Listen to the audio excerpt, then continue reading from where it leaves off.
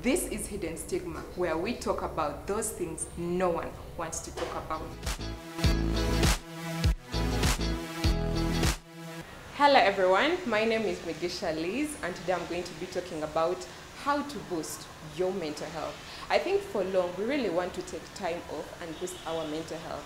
But the thing is we do not know how to do it.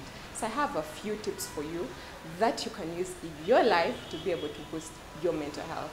One would be take off time and understand who you are. I think very many people want to be mentally well in that state of being happy, enjoying the relationships they have, whether it's friendship, boyfriends, and all that. But then you cannot enjoy that if you do not know what your identity is. So I think it's important. Take time and know what makes you happy, what makes you sad, know how best you can handle those issues.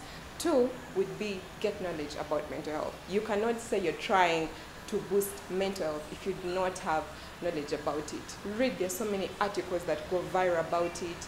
You need to read more about it to be able to know how to handle it. So take off time, just go and Google mental health. You'll be able to get a lot of information about mental health that can help you. Three, take off time and spend quality time with friends. If you know those friends who make you happy, make you laugh, make you smile, you need to hang around such people because they help generate a lot of energy inside you that is very positive, that is very amazing. So I would encourage, look for those friends. Everyone has those friends, whether it's one or two or billions, we all have those friends who boost a lot of positive energy. So look for them and hang out with them and also with yourself. Have you ever tried going for a trip just on your own to just hang out? You should try it out. It's very good for your mental health. My number four point would be smile it's important to smile. I think we spend less time smiling because of the problems in our life. Apart from those ones who are naturally happy, we over gloomy about issues. Try this. Whenever you're upset, try smiling even when you don't want to smile. Automatically, because of your smile, it generates a positive vibe in your life. So take, take time and smile, whether you're happy, whether you're angry, whether you're upset, whether you're sad, smile. It's very important for your mental health. Lastly, it's life. Relax. Please stop stressing yourself. Life has its ups and downs. There'll be people who will annoy you on a daily. There'll be things that upset you even when you didn't plan for it. So relax and just live. It's life. Do not over stress yourself. Please. You matter.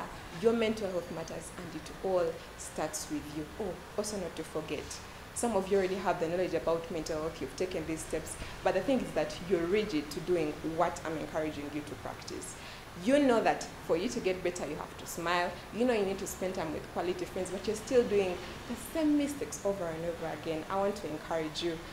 Please be submissive. Continue doing the right thing if you really want your mental health to go to a climax of even 100%.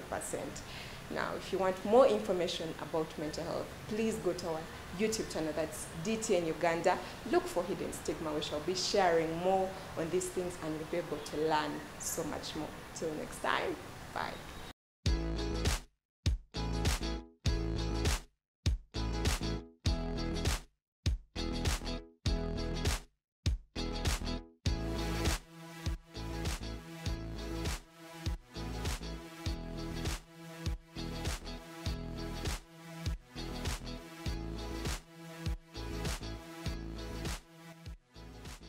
This is Hidden Stigma, where we talk about those things no one wants to talk about.